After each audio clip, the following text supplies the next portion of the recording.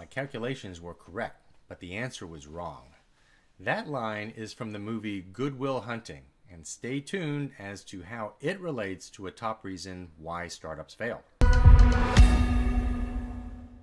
Hey everybody, I'm Matt Wolf, the Wolf of Joorney, and I prepare founders to secure funding for their startup or small business. Today, I want to talk about reason number six that in the CB Insight survey found as a reason why startups fail. And that reason is pricing and or cost issues. In startup world, the journey from a brilliant idea to a successful business is full of hurdles. Among these, pricing and cost management are critical and can make or break a company. One of the most infamous examples of a startup that crashed and burned due to these issues is a company called Pets.com. Launched in 1998, Pets.com set out to revolutionize the pet supply industry with convenient online shopping. Backed by significant VC money, including a hefty investment from Amazon, the company quickly gained visibility with its memorable sock puppet mascot and splashy advertising campaigns. But despite its marketing success, Pets.com stumbled hard with its pricing strategy. The company sold products at prices way lower than their cost, hoping to quickly attract a huge customer base from the onset. Combine this with the high cost of shipping and fulfillment, and you've got a recipe for disaster. And by the year 2000, just two years after its launch, Pets.com was done. So, I want to talk about four lessons to learn from the Pets.com failure.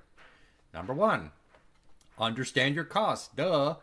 Get a handle on all the costs involved in delivering your product or service. This isn't just about production costs, but also you need to consider shipping, marketing, and of course, customer acquisition cost.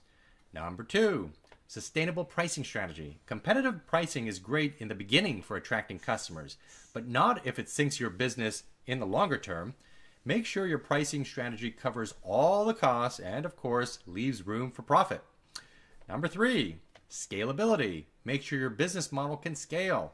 Pets.com's cost structure couldn't handle the rapid growth.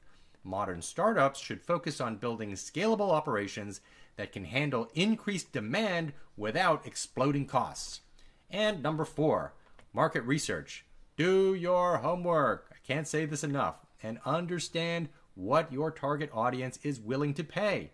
This will help you set prices that are both attractive to customers and sustainable for your business.